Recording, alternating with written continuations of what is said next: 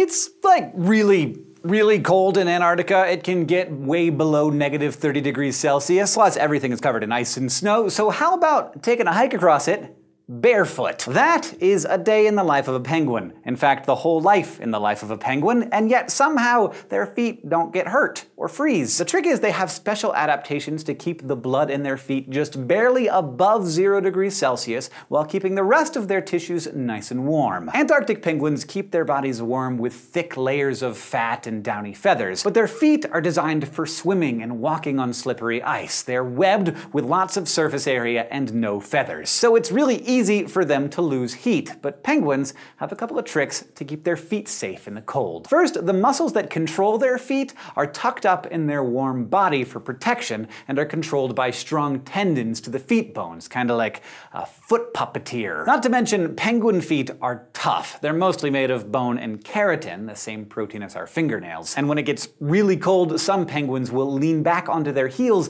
and curl their toes to keep them off the frozen ground. But the real secret is penguins keep their feet just above freezing temperatures using something called countercurrent heat exchange. At the top of each foot, a penguin's blood vessels wrap around each other, so different temperatures of blood are flowing in opposite directions, or countercurrent. This allows heat to transfer from the warm blood entering the feet to the cold blood headed back to the central body. So by the time the blood gets down to the feet with all of the oxygen for the cells, most of the heat has already been carried back up to keep those important muscles muscles and organs warm. This way, the penguin's feet stay just warm enough to keep them from freezing, and they're not wasting a bunch of energy trying to heat up their feet to body temperature. Humans actually use countercurrent heat exchange too, although our blood vessels don't actually wrap around each other. This means that on a cold day, the blood going to your fingers and toes is actually a little cooler to save a little heat and keep your central body warm. But our skin, of course, isn't as tough as penguin feet, so your fingers and toes can get damaged by the cold much more easily. So even for the daredevils among us, I would not recommend any barefoot treks across Antarctica. Thank you for asking, and thanks especially to all of our patrons on Patreon who keep these answers coming. If you would like to submit questions to be answered or get some videos a few days early,